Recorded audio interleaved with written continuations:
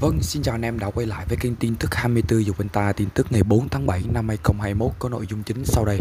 Việt Nam chế tạo thành công máy oxy dòng cao để phòng và chống Covid-19 và theo thông tin từ báo Giáo dục và Thời đại thì việc sản xuất được máy oxy dòng cao là một trong bước tiến trong việc Việt Nam chủ động các phương tiện, thiết bị y tế trong phòng chống dịch Covid-19. Tối ngày 2 tháng 7 năm 2021 tại Hà Nội, trường Đại học Bách khoa Hà Nội và VMED Group công bố sản xuất thành công máy oxy dòng cao ký hiệu BKVM HF1.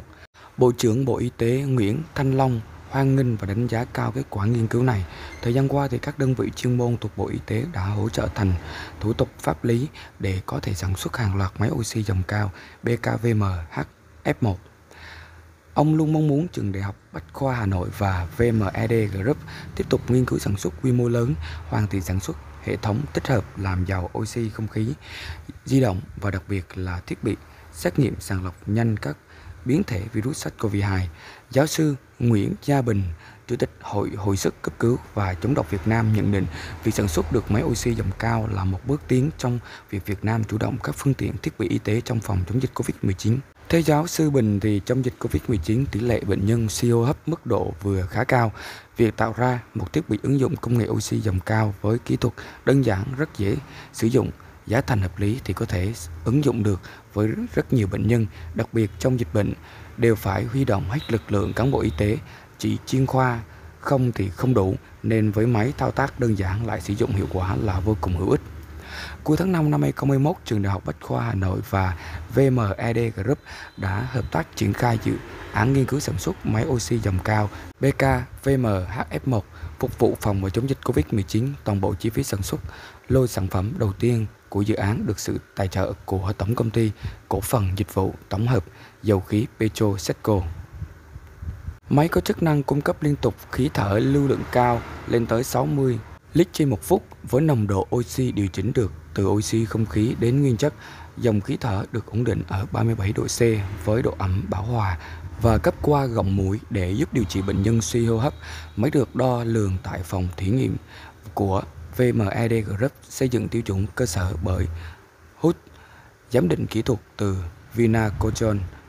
thử nghiệm tại trung tâm cấp cứu A9 Bệnh viện Bạch Mai và được Bộ Y tế quyết định lưu hành vào giữa tháng 6 năm 2021. Phó giáo sư Nguyễn Văn Chi, phụ trách trung tâm cấp cứu A9 Bệnh viện Bạch Mai đánh giá trong đợt dịch Covid-19, HFNC có vai trò vô cùng quan trọng với nhóm bệnh nhân nặng, giúp bệnh nhân đảm bảo hô hấp trong quá trình bệnh tiến triển. Rất nhiều bệnh nhân nhờ sự giúp đỡ của phương tiện thở không xâm nhập này đã tránh được can thiệp xâm nhập như đặt nội khí quản qua thực tế thì chúng tôi nhận thấy phương tiện này giúp giảm đáng kể số lượng bệnh nhân phải đặt nội khí quản, từ đó giảm tỷ lệ bệnh nhân diễn biến nặng.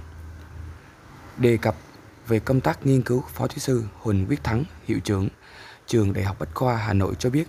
sau sự khởi đầu này thì nhà trường sẽ tiếp tục đóng góp trí tuệ nghiên cứu sáng tạo ra HF2 và HF3 để góp sức giúp ngành y giúp các bệnh nhân chống lại dịch Covid-19. Các dòng sản phẩm được sáng tạo bởi nhà khoa học Việt Nam, được sản xuất bởi doanh nghiệp Việt Nam, trước hết phục vụ người dân Việt Nam, nhưng cũng mong sẽ đến ngày